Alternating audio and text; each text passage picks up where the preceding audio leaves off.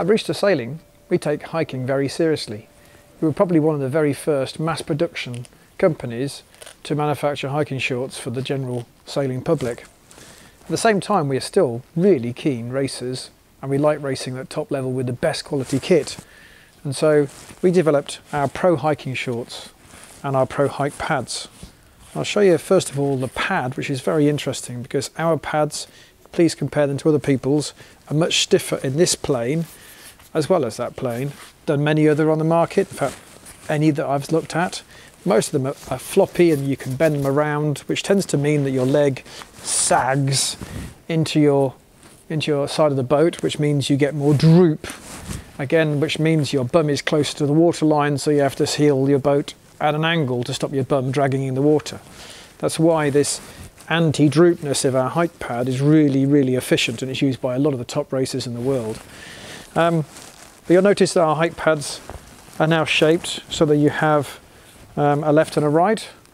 And if we fit them in a pair of pro-like of uh, Race Armour Lite shorts here, fantastically armored on the back with super padding, if you turn them inside out, they have the thing, the ability to take our hike pads. And you can just, in fact, I don't think I've taken my hike pads out of my Race Armour Lite shorts since I put them in 18 months ago. Because once you put them in, in, and once they're in the right place, you can see where they're going to go on your leg. And you know they won't fall off because they're there. Doesn't matter how hard I pull, they're not going to move, they're fixed.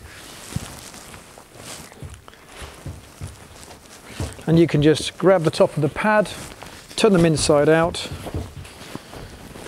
and you're ready to go sailing. In fact, I've never taken my pads out of my Race Armour Lite shorts. I've been wearing them for 18 months.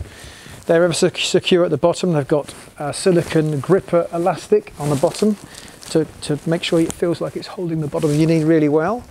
The same silicon gripper elastic on the top, but more importantly, they've got a drawstring with a, a foam filled drawstring, so it feels really comfortable even though you can make it quite tight a super pair of shorts that make hiking really comfortable no matter what pair of what neoprene you wear if you're wearing a Supertherm long john or a thermoflex long john whatever you're wearing or if it's so hot you just want to wear spandex on the top of your leg the Race Armour Lite shorts are the perfect solution with the rooster pro hike pad system.